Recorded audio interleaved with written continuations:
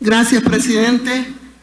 En primer lugar, felicitar a la diputada Yance Urbina, presidenta de la Comisión de Hacienda, y a todo su equipo.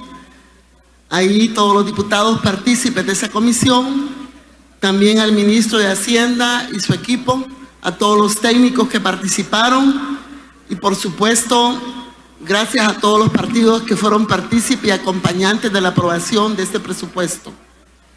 Concurriremos, lógicamente, ya lo hicimos con nuestros votos, pero también decir de que como partido de gobierno, el Frente reconoce la capacidad de concertación y consenso a la que llegamos entre nuestro gobierno y todos los sectores políticos de este país, dando estabilidad, dando gobernabilidad al país también. Este presupuesto tiene la más alta inversión en inversión pública y en programas sociales, cumpliendo así el precepto constitucional de garantizar los derechos sociales, económicos, políticos y culturales que están establecidos. Es importante reconocer que este presupuesto contribuye a que los trabajadores las trabajadoras tengan nivelaciones salariales, tengan sus escalafones y eso da también posibilidad de mayores ingresos a las familias. Es importante también porque la salud, la educación y otros proyectos, programas sociales contribuyen con la familia, así como los subsidios que están del gas, el agua, el transporte, la electricidad.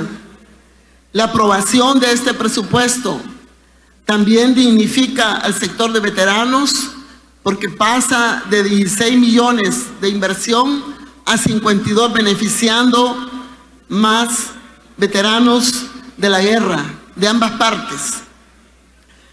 Esto refleja también este presupuesto que somos correspondientes a las exigencias también de la comunidad internacional, no solo los que cooperan con el país, sino también aquellos que apoyan con sus préstamos. A tiempo pagar es muy importante porque las calificadoras pues también ven la estabilidad económica y vamos también eh, bajando de categorías. Eh, que antes nos ponían en, posiciones eh, de mucha, digamos, irregularidad. Ahora vamos mejor.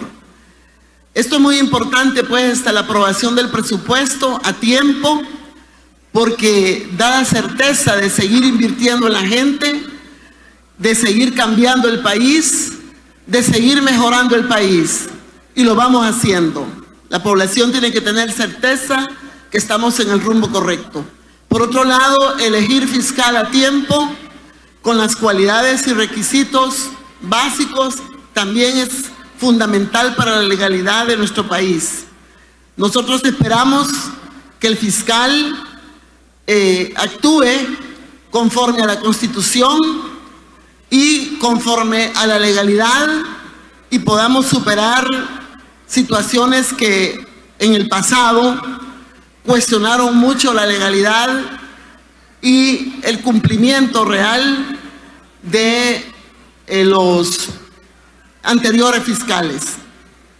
El voto del grupo parlamentario representa un gran sentido de responsabilidad para el país, para evitar cefalía de la institución, especialmente en un momento de trascendental importancia como es el proceso electoral.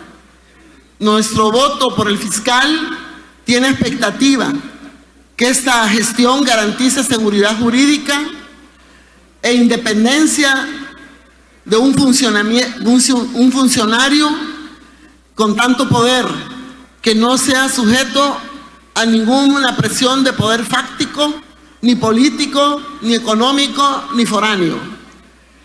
Que respete la independencia de los poderes, pero que también colabore es muy importante que la presunción de inocencia sea el factor principal al inicio de un proceso judicial.